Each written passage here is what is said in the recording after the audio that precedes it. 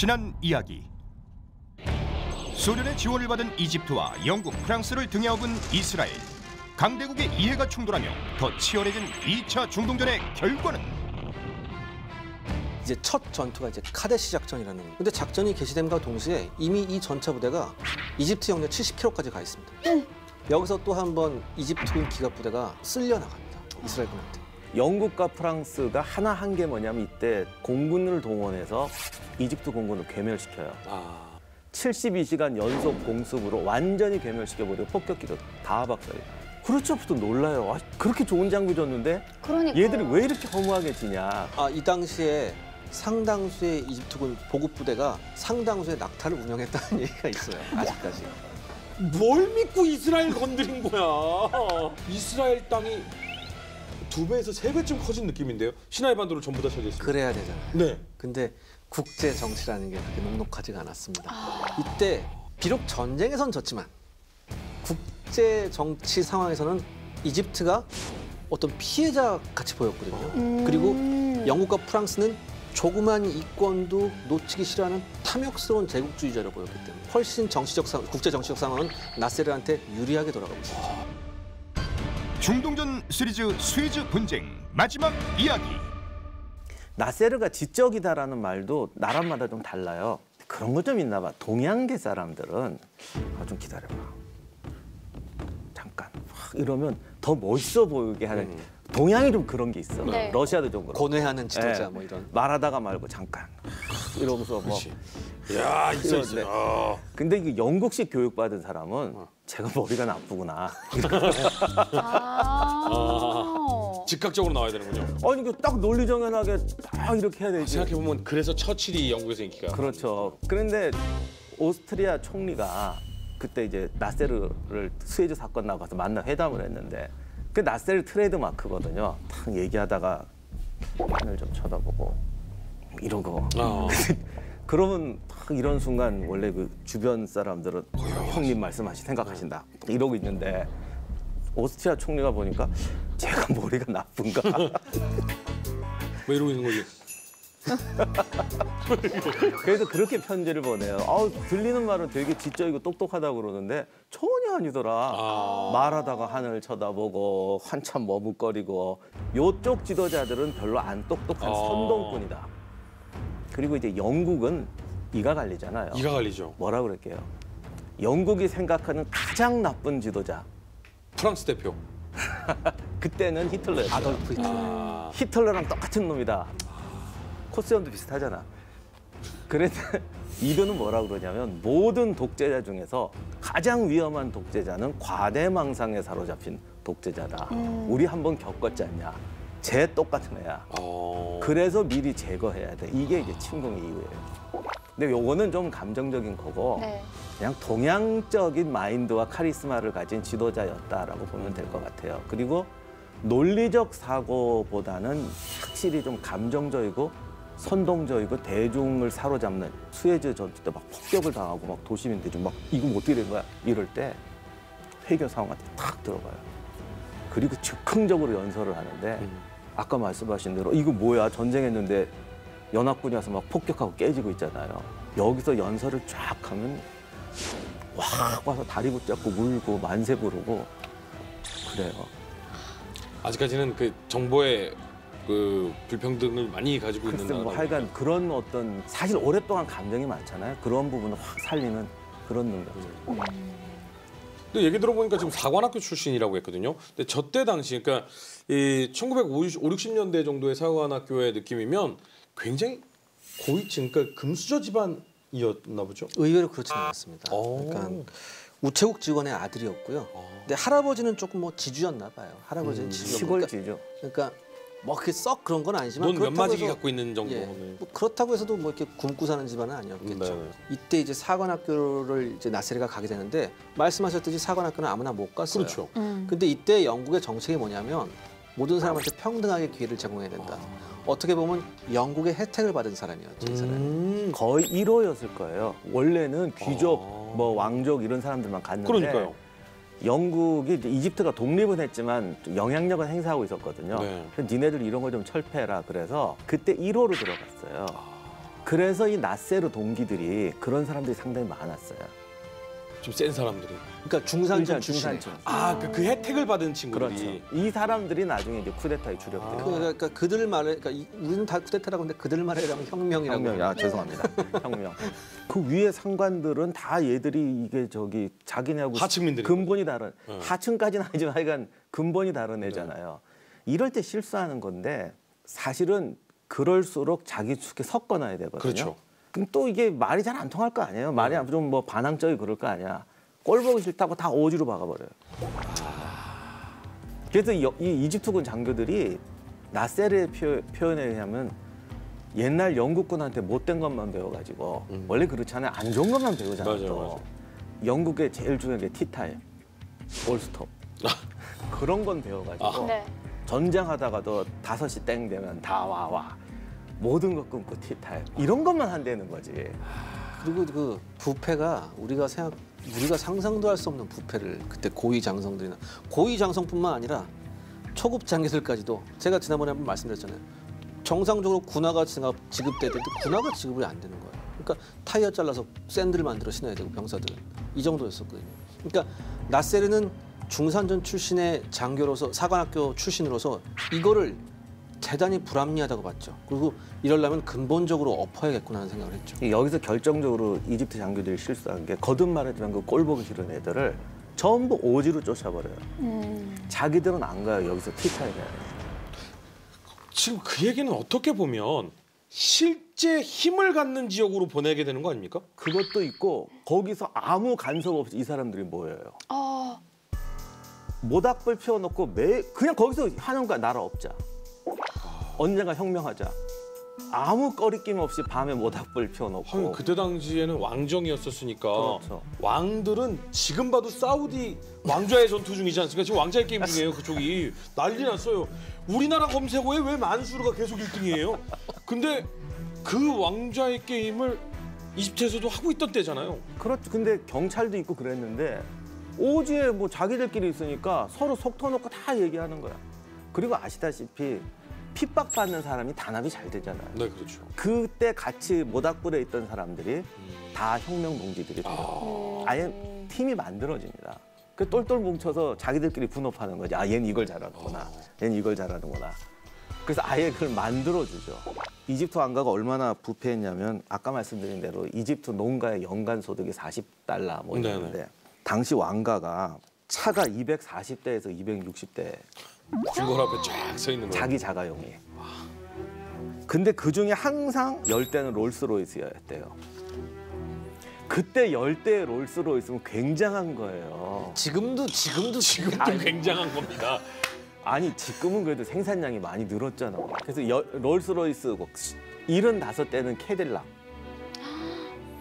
그러니까 매일 차를 한 번씩 바꿔 타거나 오전 오후로 갈아타야 이걸 제대로 근데 써요. 그렇게 해도 사는 내내 다 탈 수 있어요? 더 웃기는 건요. 파- 빨간색은 국왕 차에만 쓸 수 있었대요. 그러니까 그 지금 그 불과 몇십 년 전인데 정말 조선 시대 얘기가 지금 나오는 거네요. 그렇죠. 붉은색은 왕만 쓸 수 있다. 빨간색 자동차는 어디서나 보면 이거 왕가차야. 왕이야. 그리고 이집트 국왕의 재산이 5억 8천만 달러였다는데 그 정도면 자기 재산에 조금만 더 보탰으면 댐 건설했는데요. 그러니까 아까 아까 그러니까요. 미국이 계산한 게 10억 달러였잖아요. 그러니까 자기 재산 반만 내놓으면 되는 거예요. 그것도 국내에 있는 파악된 재산만 그래요. 국외에 숨겨놓은 재산 얼마인지 몰라요. 있겠죠. 네. 전 이집트 농지의 5분의 1이 왕실 소유였어요. 5분의 1이요? 예.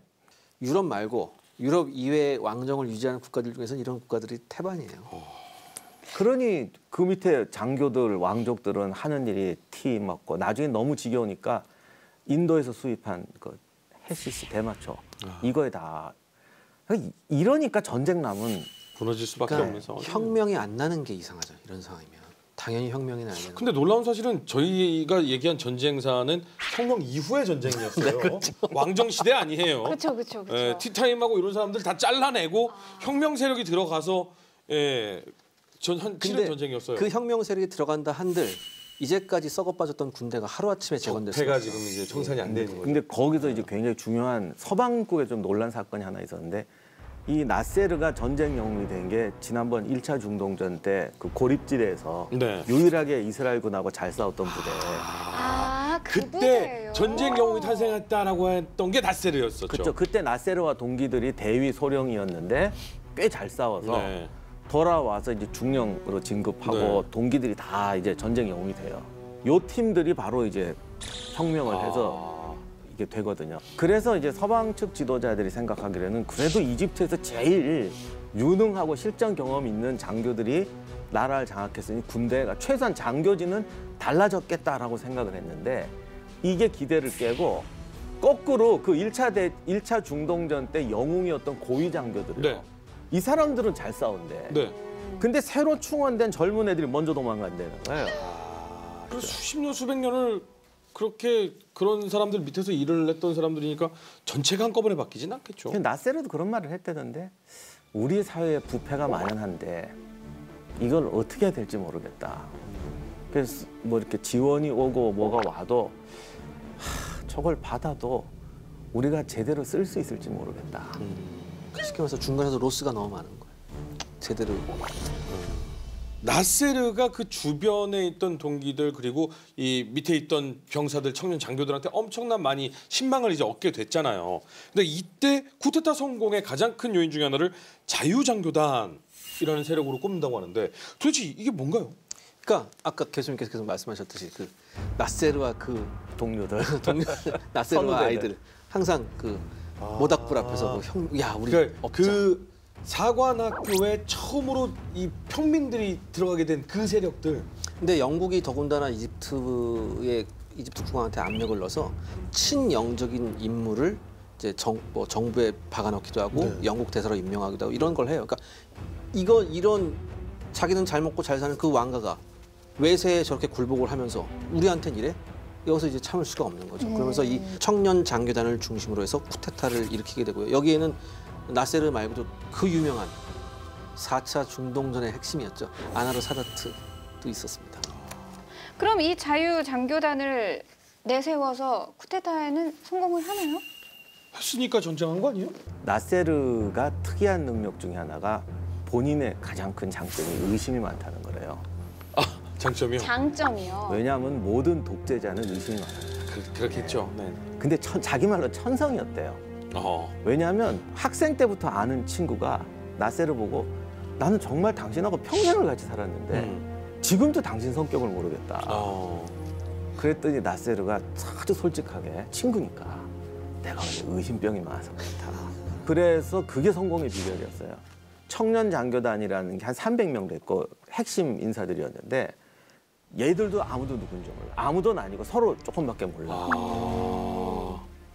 그리고 이제 하던 날 시도하기로 한 날 네. 300명을 다 동원한 게 아니라 자기가 믿을 수 있다고 생각한 90명만 동원을 해요. 어떻게 보면 그 바람에 성공한 거죠. 혹시라도 누군가가 하나가 새 나가면 안 되니까. 네. 근데 그래도 셌어요, 사실. 아. 그래도 세가지고 셌는데 이 티타임 하던 장교들이 네. 이또 제일 좋아하는 게 회의잖아. 네. 그래서 이제 진압을 어떻게 할까 회의를 해요. 의- 그러니까 한마디로 의미 없는 회의. 어. 아하. 지금 당장 총 들고 뛰쳐나가도 지금 예. 늦은 판에. 그때 정보국의 당직 장교가 한 명이었는데 이 한 명이 그 90명에서 제외된 300명 중에 하나였어요. 바로 쫓아와서 지금 누설대하고 저쪽에서 회의 중입니다. 그때 나세르가 그래 그럼 일망타진하자. 모여 있는 모여 김에. 잘 됐다. 네, 그래서 전체 계획을 생략하고 이렇게 필요한 부대만 당장 동원해서 덮쳐서 끝내버려요. 이것 때문에 사건이 하나 터지는데 그날 밤에 제외됐던 사람들 네. 네. 평생의 한이지. 최고의 권력 세력이 될 수 있었는데. 그것도 그렇고 왜 나를 뺐냐. 그렇죠. 어. 그렇죠. 당신하고 그렇게 오랫동안 같이 지냈는데 의심병이 많아서. 비교적 소수였는데도 소수의 장교들로 쫙 하잖아요. 이게 쿠데타가 일어난 나라들 대부분 공통적인 거예요. 지휘부가 건강하지 못하고 그렇죠. 음. 그 밑에 있는 병사들이 일단 지휘가 없어지니까 뭘 해야 되지? 이거 뭐, 지 아, 가만히 있는 거예요. 그냥. 그렇죠, 그렇죠. 새로 누가 와서 이제부터 내가 나, 다- 그대들을 지휘한다니까. 네 이러는 거죠. 이건 이게 어떻게 보면 그렇게 피도 많이 안 흘리고 순식간에 끝나버려요. 근데 약간 근대 들은 쿠데타들은 거의 다 그랬던 것 같아요. 정말 그들만의 쿠데타지 밑에 있는 사람들은 아무 일도 없어요. 또 하나 만고불변의 진리가 있죠. 이 쿠데타를 잘하는 국가, 그러니까 쉽게 말해서 쿠데타를 하거나 자국민을 잘 때려잡는 국가는 외국군과의 싸움에서는 잘 못 이겨요. 사람들이 그 이집트 왕가의 사치에 완전히 이 저기 질렸잖아요. 근데 나세르가 재밌는 게 나름 그 아랍의 그 최고 실력자치고는 검소하게. 어. 또 집도 아마 평생 그 집에 살았단 아, 말이에요. 그래요? 예. 서민주택은 아니지만 그래도 야 이 정도면 검소하다고 하는 집에서. 근데 자기 부하들은 아파트 열몇 채씩 갖고 있는데 아. 본인은 어떻든 이렇게 딱. 그래서 국민들한테 엄청난 인기를 구가했는데 전쟁에서는 대판 깨졌어요. 그러니까 아마 상상도 못하게 깨졌어. 이때 나세르는 설마 영불이 직접적으로 군사 개입을 설마 할까? 어. 그리고 만약에 군사 개입을 하더라도 이스라엘을 저렇게 내세워서 우리를 후다닥닥 팰까? 그 생각을 못 했던 거죠. 그 생각은 정말 못했죠. 이스라엘만 우리하고 싸운다라는 느낌이 살짝 있었던 거잖아요. 그렇죠. 근데 이스라엘만 싸웠어도 그렇게 압도적으로 졌을 것 같다는 생각은 왜일까요? 당시에는 자신감이 있었던 것 같아요.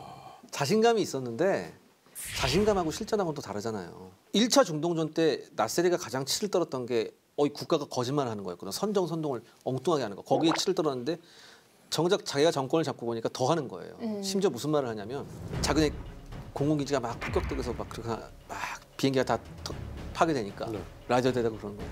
저거 다 모형이다. 가짜다. 우리 모든 진짜 전투기와 폭격기들은 전부 다 사우디아라비아로 대피시켜놨다. 이렇게 방송을 해요. 사우디 정보부가 발칵 뒤집혀 이걸 듣고서 우리 땅에 쟤네 전투기가 네. 있다고? 사우디 정보부가 총 비상에 걸려서 야 지금 사우디 공항에 이집트 전투기 있냐? 막 막 파악을 하는 그런 거 없는데 아 그 뭐야 그럼 이게 뭐야? 어느 정도 말이나 좀 맞히든지 음. 말도 안 맞혀. 아니 그러니까 도대체 나는 그 오늘의 전쟁세가 너무 헷갈리는 게요. 하, 잘못된 그 적폐 세력과 왕정과 부정부패를 축출하고 정말 젊은 장교들끼리 힘을 합쳐서 어 이젠 바꿔보자 이집트 이렇게 해서 됐다는데 그 이후의 얘기를 들어보면 이분이 다른 게 뭐지라는 아 그러니까 지금 정답을 말씀하신 거예요. 음. 권력이란 건 잡으면 다 똑같은 놈이 돼요. 그러니까 나세르가 자기 입으로 그랬거든요. 자기가 그 1차 중동전 때 포위돼 있으면서 네. 방송 나오는 거 들으면 정말 기가? 막힌다. 뭐 오늘 공격했다 쫓겨났는데 며칠 전에 점령했다고 나오고 어떻게 이렇게 정부가 국민을 속이느냐. 어, 자기가 정권 잡더니 그걸 자기가 직접 해요. 이걸 대고 마이크를 이 아니, 그러니까 맛이구나. 그 선- 그러니까 그 연설문 신문 작성. 기사 뭐 이런 걸 직접 관리해. 아 이게 참 무서운 거예요.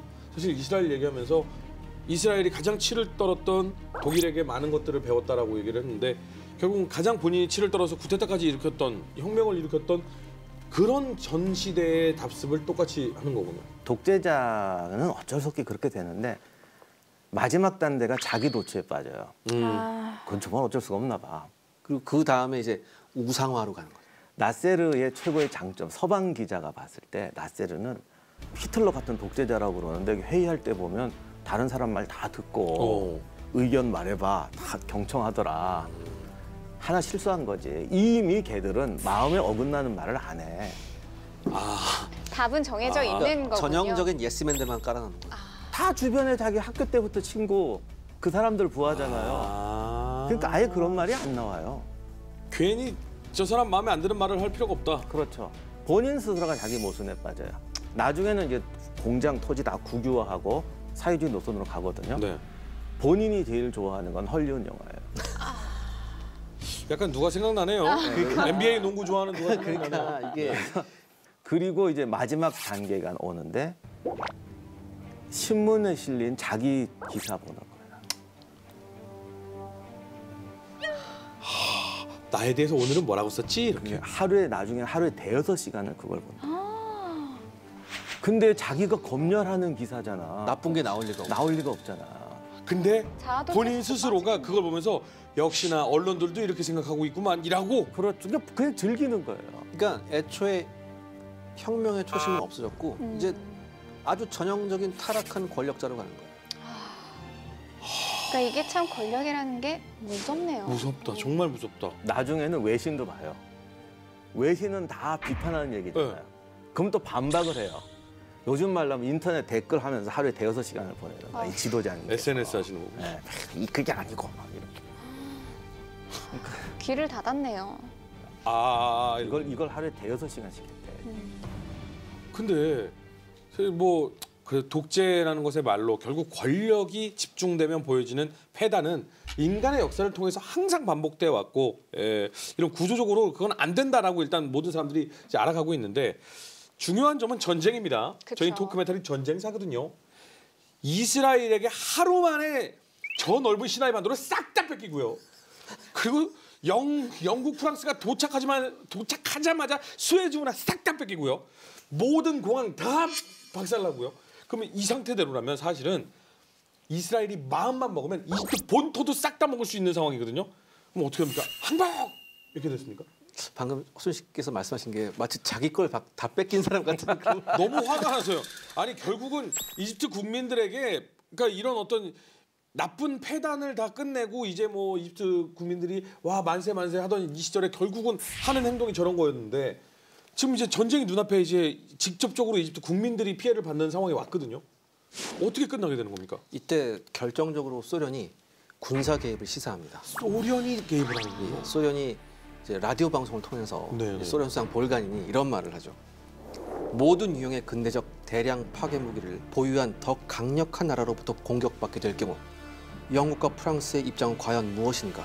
아, 우리는 침략자를 분쇄하고 동방에서 평화를 재수립하기 위해 무력을 사용할 결의를 굳혔다.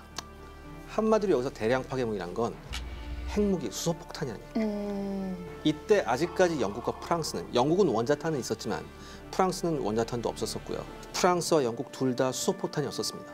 그 핵폭탄을 훨씬 더 파괴력 강한 폭탄으로 만드는 것이 수소폭탄인 거죠? 이게 왜 중요하냐면 핵폭탄이 나오니까 다들 이미 핵전쟁을 생각하고 있었거든요. 지금 북한도 왜 수폭 수폭 이러냐면은 원자폭탄 가진 나라끼리 싸움이 붙어요. 그러면 무조건 큰 나라가 이겨요. 영국처럼 작은 나라가 소련하고 그렇죠. 핵전쟁을 한다고 생각해 보세요. 소련한테 피해를 입힐 수는 있겠지. 그러나 세발 세발 교환하면 영국은 초토화된다. 그렇죠. 음. 그래서 영국이 하는 말이 수소폭탄이 있으면 한 발이면은 거의 치명, 저쪽에도 치명적인 피해를 줄 수 있기 때문에 작은 나라와 큰 나라가 핵 대결을 벌였을 때는 원폭 갖고는 안 되고 반드시 수폭이 있어야 된다. 수폭이 있으면 평등해진다라는 게 이미 이때 영국이 깨달은 아. 얘기예요. 음. 참고적으로 이제 수소폭탄의 위력은 원자폭탄의 1,600배 정도 됩니다. 그러니까 이제 그냥 원폭이 한마디로 일본에 떨어졌던 것이고 네. 그것의 천 몇백 배의 위력을 600배 가지고. 있는. 그러니까 이, 이때부터 나오는 개념이 뭐냐면 그 보통 MAD 전략이라고 하죠. Mutual Assurance Destruction에서 상호 파괴 확증 전략이에요. 그러니까 너네도 저만큼 갖고 있고 우리도 이만큼 갖고 있으면 서로 쏘면 서로 죽으니까 우리 전쟁하지 말자. 음. 이 수에즈 분쟁이 끝난 이후에 영국과 프랑스가 아주 가열찬 핵 개발을 아, 이제 시작. 그럴 수밖에 없겠네요. 왜냐면 그 말 듣고 영국과 프랑스가 툭 소련이 우리 친대 이렇게 되는 거잖아요. 아마 공식적으로 핵전쟁 하겠다고 선포한 건 이게 거의 유일무이했을 유일- 거예요. 어. 더군다나 핵 투발 수단이 영국은 없었어요. 원자탄을 갖고 있었지만 예전같이 폭격기 가지고 가서 날라 떨어뜨려야 되는데 이때 이미 러시아는 미사일이 있었다. 아. 미사일에 수소폭탄을 장치해서 날릴 수가 있었다. 그 말도 하죠. 우리는 대량 파괴 무기를 옛날처럼 군대가 가지 않고 멀리서 보낼 수 있는 수단이 있다. 핵이란 말은 안 쓰는데 아. 그렇게 말을 합니다. 그게 왜 그러냐면 그 탄도 미사일을 이미 독일에서 그 개발을 해놨었기 때문에 그 독일의 기술자들이 소련으로 넘어간 상태였잖아요. 아 이렇게 되면 정말 무서운 상황이 벌어질 수도 있었네요. 어떻게 보면. 아무튼 이렇게 돼서 음, 이제 11월 23일 날 유엔 중재하에 이제 정전이 선언이 됩니다. 음. 전체적인 피해 규모는 아까 제가 잠깐 말씀드렸는데 이스라엘 같은 경우에는 피해가 적었어요. 전사 189명, 부상이 900명이 좀 안 됐고요. 항공기 15대, 뭐 기갑 차량 20대. 근데 여기서 어, 이스라엘 이집트로부터 또 선물을 한번 받습니다. 어. 전차 100대, 장갑차 200대를 노획하게 되죠. 노획인 거죠. 버려두고 도망가니까 예, 가지고 온 거죠.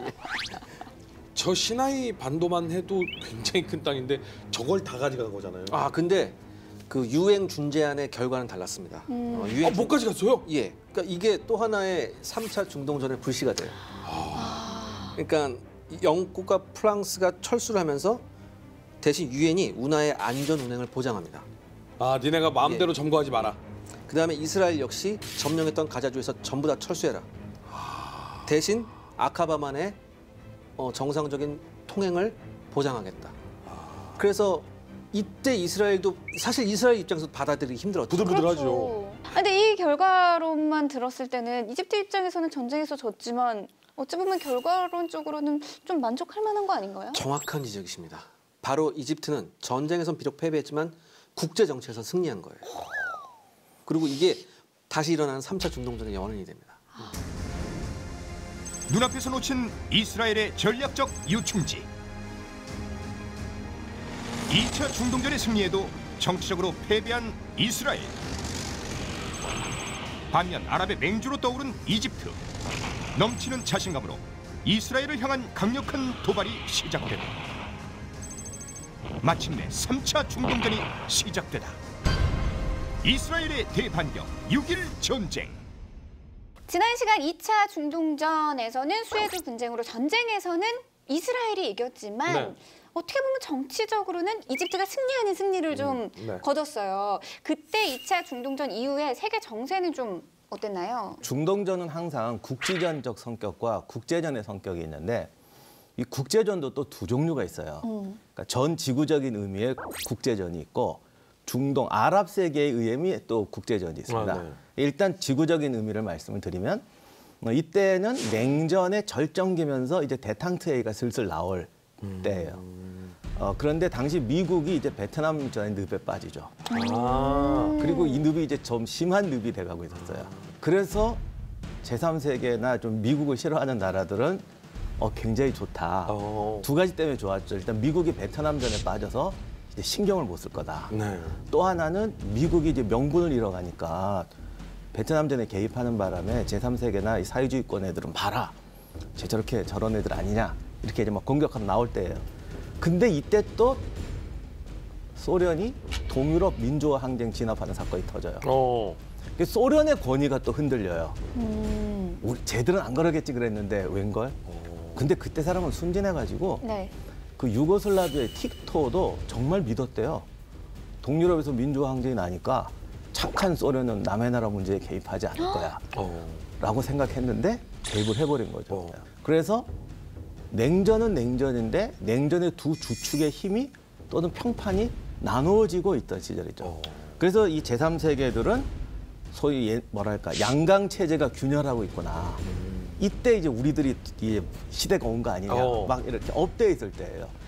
이런 어떤 상황이 중동전이 발발하는데 하나의 굉장히 모멘트가 되게 됐을 겁니다. 그럼 그 모멘텀 때문에 이 3차 전쟁이 시작이 됐는데 강대국들은 그럼 그 바라보는 반응은 어땠나요?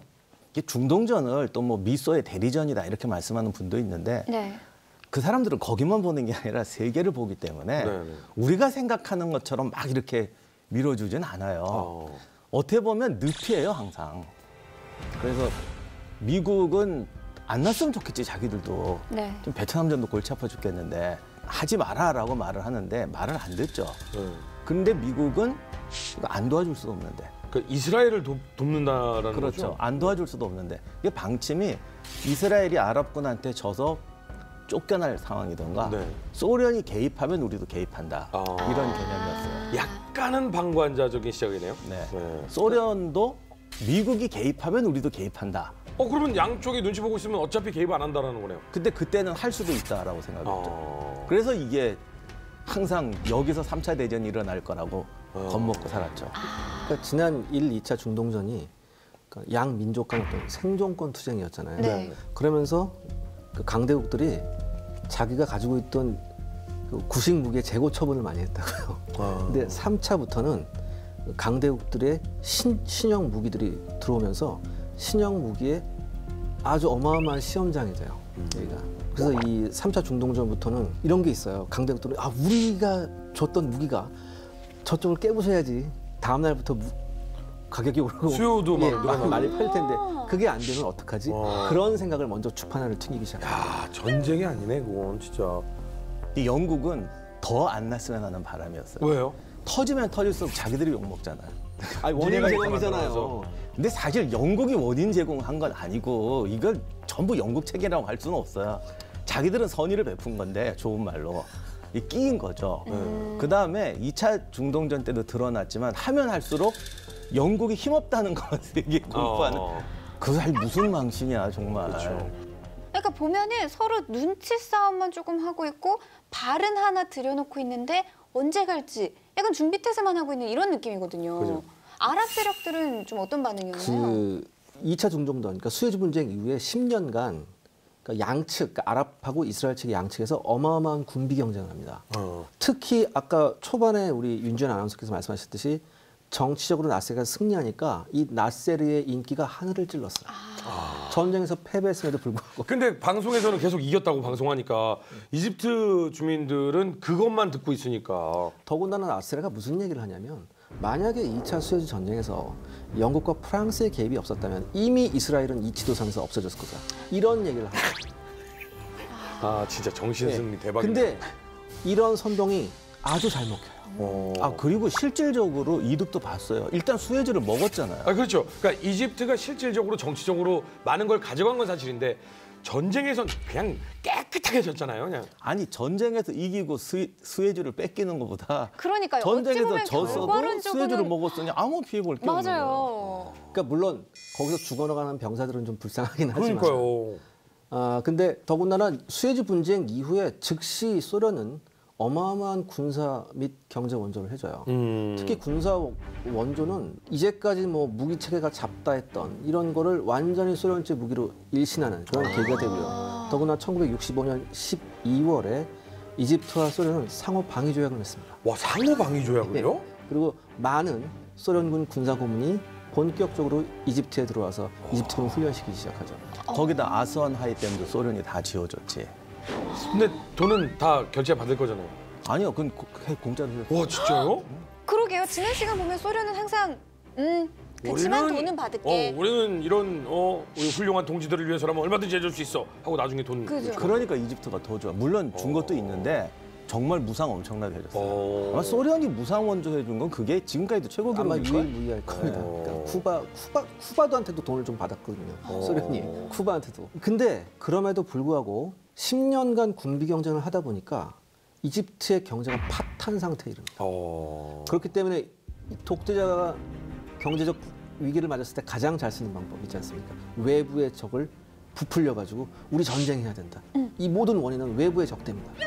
이렇게 되니까 또 이집트 국민들이 거기에 또 열광을 하게 됩니다. 그래서 다시 한번 이스라엘에 대한 강한 적개심을 공공연하게 표출하게 되죠. 그 다음에 이제 시리아 문제도 있었는데요. 시리아는 그때 막 사회주의 정부가 들어섰어요. 음. 그렇기 때문에 소련도 시리아에 대해서 아낌없는 지원을 해줬었죠. 그러니까 어느 정도였냐면은 철모부터 군합군까지 전부 다 소련제 이런 식으로. 그러다 보니까 더 신나는 일이 생긴 거예요. 미국 입장에서도 이걸 너무 방치할 수가 없잖아요. 그렇죠. 그러니까 이제 계속 뭐 하다못해 민간 뭐, 뭐 영화 아니 무슨 민간 공연단 이런 게 자꾸 가요. 어. 그러면 이집트 사람들은 봐라 미국이 우리한테 빌러 온다 지금. 천하의 미국이 우리한테는 와서 지금 잘 이렇게 보이려고. 예, 이러고 있다라고 어. 그냥 대놓고 해요. 근데 이런 거 보면 조금은 부럽기도 한 게 이집트인들은 굉장히 정신이 건, 강하네요. 강정신이라고 해야 될까요? 자아가 굉장히 세신 네, 거죠. 네, 뭘 하든 다내 음. 위주로 계속 그렇지. 하고. 아 그리고 그때 그 국제적인 곡물 가격 정책도 대단히 이집트에게 유리하게 미국이 많이 양보를 해요. 어. 그래서 이집트가 기고만장했죠, 사실 정말. 근데 이거 약간 위험해지는 신호 아닌가요? 맞습니다. 이럴 때 약간 불안하거든요. 원래 기범안장해야 전쟁을 하죠. 그렇죠, 그렇죠. 더군다나 이제 요르단에서는 그 팔레스타인 청년에 의해서 왕이 암살되는 그런 사상 초유의 사태가 발생합니다. 사실 쉽게 안 일어날 거. 와 아무리 약한 나라고 해도 왕족에 대한 호의는 분명히 있었을 텐데. 젊은 청년이요? 네, 그러니까 팔레스타인 난민 캠프가 가장 많은 데가 요르단 쪽하고 이제 시리아 쪽이었는데 네. 난민들이랑 같은 아랍 민족 난민이니까 잘 되실 것 같은데 전혀 안 그렇대요. 이게 음. 어떻게 보면 그러니까 약간 그 불가촉 천민 같이 취급하는 게 있었어요. 어. 그러다가 거기에 또 격분했죠. 왜 격분했었냐면 아, 중동 전쟁을 하면서 하나 요르단이 약속한 게 있었어요. 요르단강 서안 같은 경우에는 팔레스타인한테 주기로 약속을 했었는데 아. 특히 요르단강 서안이 왜 중요하냐? 당시 요르단의 경제의 GDP의 40%가 요르단강 서안에서 나왔어요. 와. 그렇기 때문에 요르단으로서는 야, 이- 여기에 떨거지 애들이 들어와서 산다고? 말이 돼? 강경하게 한 거예요. 그러니까 약속 왜 안 지키냐 이러다가 이제 심지어 국왕을 암살하는 아주 극단적인 사태까지. 근데 그러면 애초에는 약속을 왜 한 거였어요? 그때는 무언 약속들 못해요. 그네들 입장으로 얘기해 봤을 때 떨거지들한테 내가 약속을 지킬 이유가 없잖아요. 그렇지. 더군다나 얼마나 경제적 요충지. 그리고 말은 항상 뻔질을 하잖아요. 뭐 예를 들면은 어, 니네가 아직 그걸 관리할 능력이 안 돼 보여서 우리가 대신 조금 관리해 주는 거야. 아 그래서 정식으로 요단강 서안을 요르단으로 합병해 버려요 자기들이. 너무해요. 가자 지구는 이집트께 돼버리고. 어. 그래서 이때는 이게 이쪽이 이집트고 저쪽이 요르단 땅이었어요. 아, 그럼 아예 팔레스타인은 땅이 없는 없어진 거네요. 그러니까 이스라엘이 몰아냈더니 사람을 몰아냈더니 요르단하고 이집트가 땅을 먹어버린 거예요. 그러니까 팔레스타인은 양쪽에서 다 배신당한 거죠. 와. 아니 근데 요르단 서안이라고 하면은 이스라엘이 가장 중요하게 생각하는 북남 중앙 여기에서 중앙에 해당하는 거잖아요. 요르단 요르단 서안. 이거 이스라엘이 그냥 둬요? 그걸 둘 수가 없죠. 왜냐하면 그게 요르단 국경이 되면요. 네. 테라비브까지 몇십 킬로 안 돼요. 테라비프까지 20km 정도. 돼요. 그러니까 이스라엘 땅에 폭 하고 안으로 들어오는 거잖아요. 그러니까 그냥 한 번 돌격하면 수도가 한번 그러니까 돼요. 그 끝이에요. 반면에 이스라엘이 만약에 저 요르단 강 선을 차지하게 되면 요르단 수도 암만까지 40km. 아참 골치 아파요 이게. 그러네요. 아이고, 그냥 천도를 하는 게 어떨까요? 목숨 걸고 지켜야 되는 거 아니에요? 그러니까 요르단도 마찬가지고 이스라엘은 절대 좌시해서는 안 되죠. 어떻게 보면 그 이스라엘 내부적인 어떤 지리적 여건을 어. 최대한 이용해서 가장 먼저 없애버려야 될 돌출부였어요. 어. 그러면 이스라엘하고 요르단은 절대로 양측 다 이거를 빼앗기면 안 되잖아요. 그럼 상황이 어떻게 진행이 되는 겁니까? 중동 정세가 점점 복잡해져요. 네. 그러니까 요르단은 이스라엘하고 이렇게 되니까 가능하면 안 싸우려고 그래 또. 어. 자기들은 요르단강 서안만 잘 지키면 되잖아요. 네. 이걸 굳이 전쟁을 왜 해? 요- 이스라엘한테 잘해줘요. 그래서 팔레스타인 과격 분자들을 막 잡아 가둬요. 어. 괜히 이스라엘 신비 건들지 말라고. 네, 테러 단속도 하고. 그 다음에 시리아는 원래 시리아가 이스라엘하고 서로 그렇게 싫어해. 아. 이거 꼭 한국과 일본 같아요. 아 그래요? 예. 그래서 거기서는 또 매일 저기 국경 문제예요. 음. 서로 싸우고. 하루라도 서로 포탄을 주고받지 않은 날이 없습니다. 진짜요? 그러니까 뭐 이스라엘의 주장에 따르면 네. 뭐 이쪽 남쪽 시나이 반도나 북쪽 골란공원 그 시리아 국경 쪽에서 약 3천여 회의 아랍군의 도발이 있었다고 얘기를 해요. 그러니까 하- 매일 서로 포격전을 하는 겁니다. 음. 일상생활이네요. 네. 그다음에 요르단 같은 경우에는 뭐가 있었냐면 사실 이스라엘도 요르단군하고는 별로 싸우기가 싸우길 원치 않았어요. 아 그래요? 웨스트뱅크가 중요하긴 했지만 요르단군이 제일 잘 싸웠거든요. 음. 그래서 여러 차례 이스라엘도 전쟁 나기 전에는 여러 차례 유엔을 통해서 요르단한테 메시지를 보냅니다. 나 너하고 싸우긴 싫다. 그리고 사실 비밀 협정도 여러 번 맺었어요. 어. 안 싸우겠다. 근데 지금 싸우지 않으면 저 땅을 두고. 어떻게 해결은 할 수가 없는 가져가잖아. 거잖아요. 어쨌든 지금은 안 싸우겠다고 비밀 협정도 아직은 전쟁이 발발된 상태가 아니기 때문에 만약에 전쟁이 발발하면 음. 이스라엘은 남부, 중부, 북부 문제를 한꺼번에 해결하려고 했어요. 그러니까 요르단도 고민이죠. 이스라엘하고 잘 지내겠다고 하면 아랍 사람들이 배신자라고 그러고 음. 아랍 편을 들으면 이스라엘이 치고 와서 요르단강 그렇죠. 서안을 뺏어버리면 이거 골치 아파요. 음. 그리고 여러 번 얘기했지만 내부에서 서안에 신경을 쓰니까 네. 요르단 동부에 살던 베두인족들이 또 불만이 태산이에요. 아, 동쪽 베두인들은 왜 우리 돈, 우리 피를 쟤들을 위해 쓰냐 그래서 당장 쿠데타 날 거라는 위기감이 엄청났어요. 어. 그래서 뭐 진퇴양난이야 이러지도 못하고 저러지도 못하고. 어 그러면 이스라엘 입장은 그냥 슬금슬금 뺏으러 가면 되는 거 아닙니까? 아, 근데 왜냐하면 일, 이차전을 통해서 이스라엘이 국제적 이미지가 안 좋아졌어요.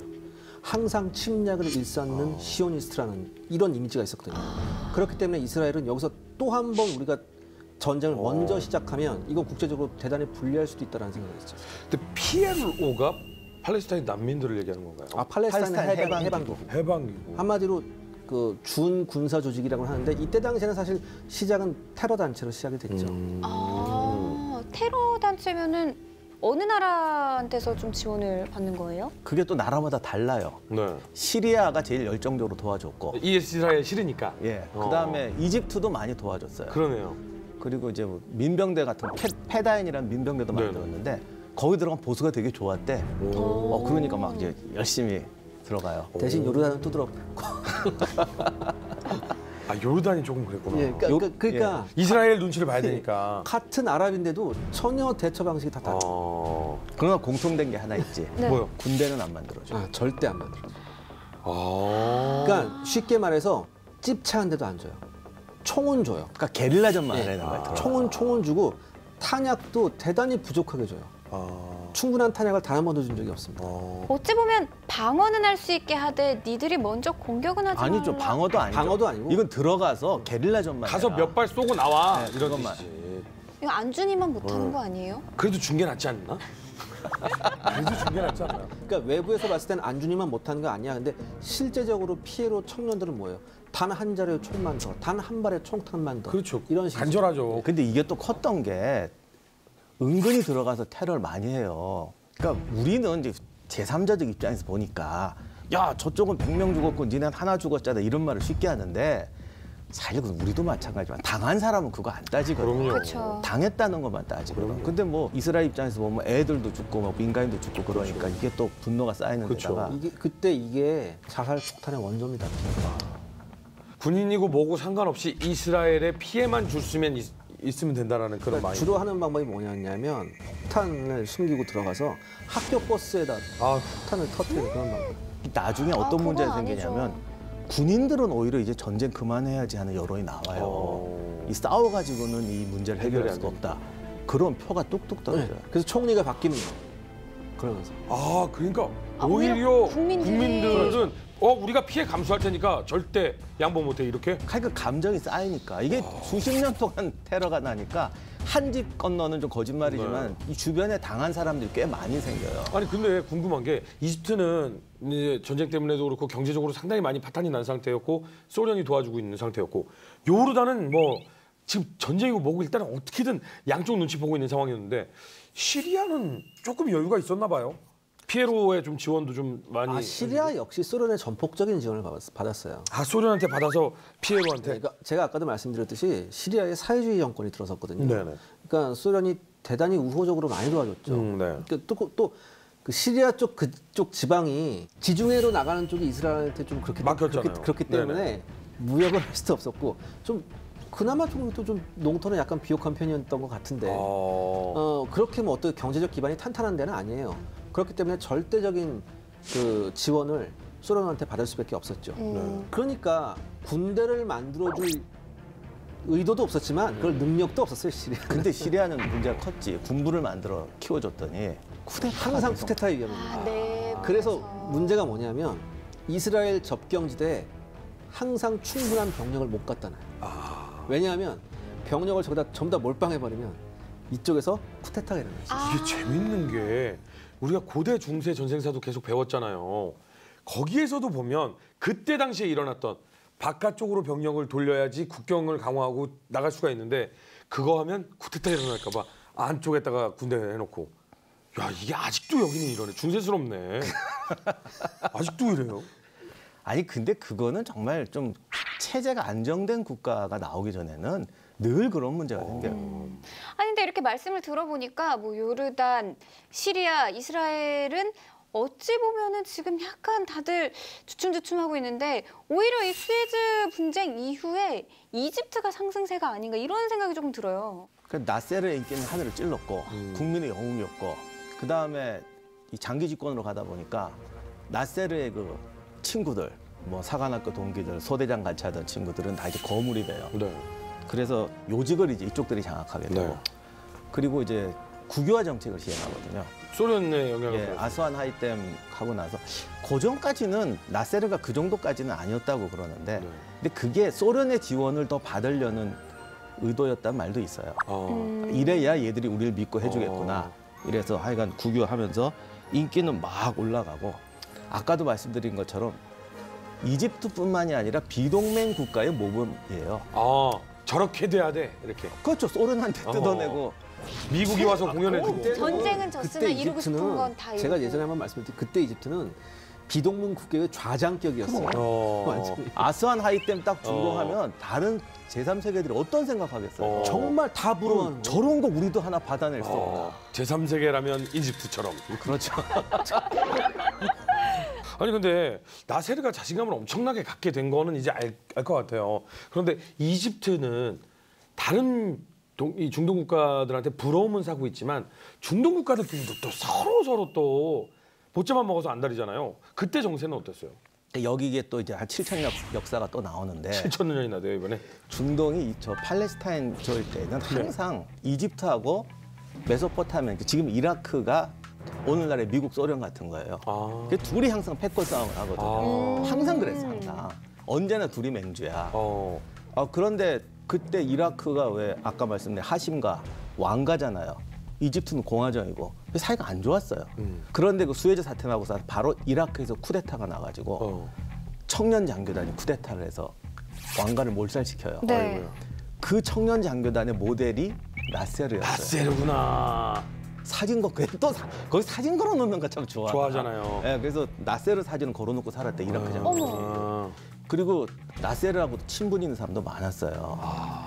그래서 이제 얘들이 이제 쿠데타를 해서 공화정을 성립하니까 나세르는 신난 거야.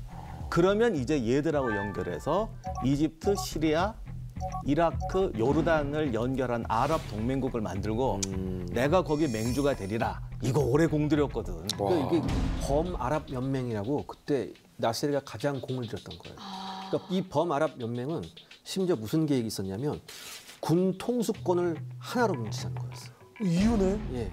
아니 뭐 이유까지는 아니겠지만. 그래서 한 번의 명령으로 일사불란하게 공, 이스라엘을 공격할 수 있는 그러니까 나세르가 얼마나 인기가 큰 좋았겠어요. 그림이네. 그러니까 나중에 전쟁 나니까 요르단 사람들도 이렇게 말하는 거예요. 곧 나세르가 와서 밟아주겠지. 우와. 시리아 그 사람들도? 우리가 우리가 밀고 가자가 아니라 나세르가 와서 해치워 주겠지. 이러고 있다. 전쟁 내내 삼십 중동전이 발발하고 전쟁 내내 요르단하고 시리아가 한 일이 뭐냐면 나세르한테 전문을 때립니다. 대사를 자꾸 보내고 야 어떻게 된 거냐 도대체 왜 안 와? 뭐 이런 식으로 그래서요. 그래서 정말 나세르가 꿈꿨던 그 그대로 그림이 그려지나요? 다음 이야기. 아랍 세계의 중심으로 떠오른 이집트. 자신의 영향력을 과시하기 위해 또 한 번 이스라엘을 향한 강력한 도발을 시작하는데 6일 전쟁의 소마. 아랍 사람들을 공용으로 묶을 수 있는 이슈는 하나밖에 없어요. 이스라엘. 아, 이스라엘. 맨날 이스라엘 두드려 패야 돼. 나세르가 보기엔 모든 게 자기한테 유리하거든. 어허. 소련은 도와주겠다고 하지. 미국은 베트남전 때문에 못할 것 같지. 이스라엘은 근데 이때 이미 조용하게 모든 예비군 동원령이 끝났어요. 그 이스라엘은 무섭단 말이에요. 이건 땅이 아니라 하늘에서 벌어져요. 어. 불과 3시간의 공습에 이집트군 공군기의 80%가 녹아 없어집니다. 역사가들은 이렇게 말합니다. 진주만 공습 이후로 가장 완벽했던 공습이었다.